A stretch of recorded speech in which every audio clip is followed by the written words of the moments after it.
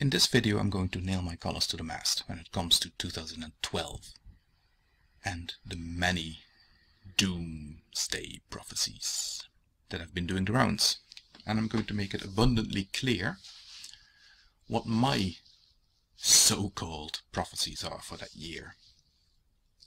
I'm going to try to be as inclusive as possible. So first of all, cosmological impact.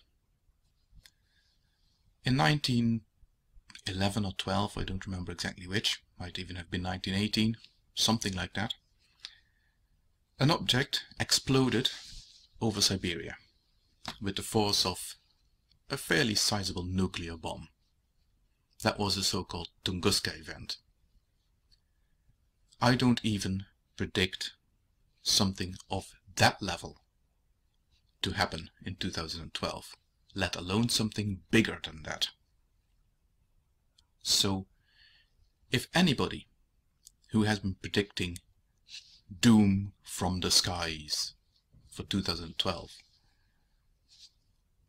comes and finds a meteor streaking across the sky of Texas, for example, and then starts claiming that that is the fulfillment of the 2012 prophecy, I'm going to laugh at you because people have been predicting cataclysm, not a pretty contrail or whatever. That's the first one. Doom from the sun. Solar flares destroying our communications network. That is what people have been predicting. So don't you dare latch on to some minor disruption of satellite communications, a nuisance due to some medium-sized solar flare causing a bit of static on our communications and say that that is the fulfillment of your prophecy, not when people have been building bunkers and converting their houses and stocking food for months and months and months in the prediction that our civilization will come crashing down around us because all our communications have been destroyed. My prophecy is that if we are going to see any sort of disruption of satellite communications and other electronic communications, it's going to be a nuisance at most if we are going to see any such event happening in 2012. Anything less than that doesn't count. Anything more than that, I prophesy, is not going to happen. Earthquakes.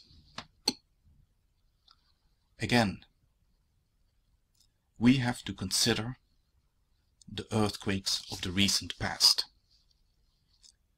Obviously, the earthquake quake in Japan, 9.5 on the Richter scale, or thereabouts, didn't count. Nobody prophesied that as a fulfillment of Mayan prophecies. It didn't happen on the 21st of December 2012 either. It didn't even happen in 2012. So obviously, we must consider that a magnitude 9 earthquake is not big enough for ancient civilizations to make a prophecy about. Right? So the only thing that could even start to qualify as a fulfillment of Mayan prophecy is an earthquake that has a planet-wide impact and therefore would have to be magnitude 10 or higher. That is not going to happen. That's my prophecy. We'll be lucky, well, I wouldn't call it that of course, but doomsayers would be lucky if an earthquake of magnitude 8.5 even happens on Earth. But it could. But it wouldn't count. There you go. economic collapse in 2012. The euro is struggling. The world economies are struggling. And I predict that they will continue to struggle all the way through 2012. Maybe there will be some glimmer of recovery in that year. That's possible.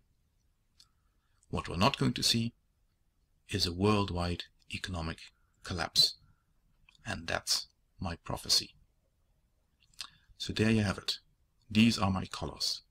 There is the mast. And this is me nailing them to the mast. These are my four prophecies for 2012. Will they come true? You betcha.